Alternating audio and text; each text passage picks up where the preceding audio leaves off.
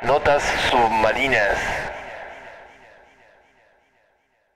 Bueno, estamos acá con Richard Lozano, uno de los músicos que participó en el evento de este sábado en la Escuela de Música El Firulete, un cantautor dorreguense, músico, compositor, guitarrista, em, de todo un poco. Richard en su carrera como solista se presentó y bueno, contanos cómo, cómo lo viviste, cómo fueron tus sensaciones, cómo viste a los demás artistas, cómo viste la noche en general.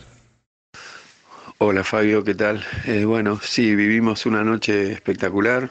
Ahí pasamos una noche musical junto con, con Punky, eh, junto a vos también que tocaste eh, tus temas y, y bueno, también estuvo Víctor Rodríguez en percusión acompañándolo a, Marcelo, así que bueno, la, pasamos re bien. una linda noche, agradable compañía de, otros músicos, de gente que fue a ver, a escuchar. Y bueno, eh, esperemos hacer algún otro ciclo más, alguna, alguna otra noche más así, eh, en este lugar que verdaderamente que da para, para, para ahí organizar eh, noches como esta. Ahí, en este caso fuimos tres, tres, tres intérpretes, no tres solistas, pero bueno se ha dado también la gente como yo cuando fui a presentar mi disco, bueno, cosas así también.